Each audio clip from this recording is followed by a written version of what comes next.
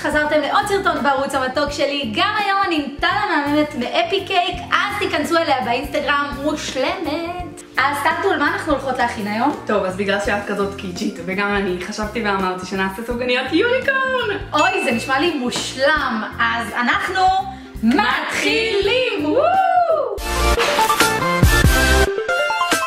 נניח קערה מעל סיר עם מים חמים, ונשים בפנים שני חלבונים ושלושת רבעי כוס סוכר. נערבב בתנועה מתמדת עד שהסוכר נמס בחלבון. אפשר לגעת ולהרגיש שאין גרגירים בתערובת. נעביר לקערת המיקסר ונקציף 10 דקות עד לקבלת מרנג סמיך, כזה קרמי. שימו לב, זה המרקם. לציפוי הסופגניה נמיס שוקולד לבן. נעביר מחצית מהשוקולד לקערה חדשה. נצבע עם צבעי מאכל לשוקולד. ונעשה שילוב של הצבעים בצורה כזו.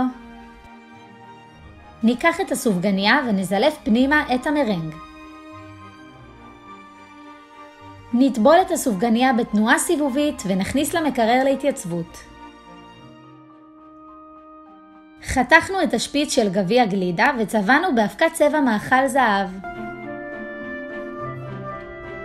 נניח מעל שערות סבתא מעט מהמרנג, את גביע הגלידה וגם נשיקות לאוזניים.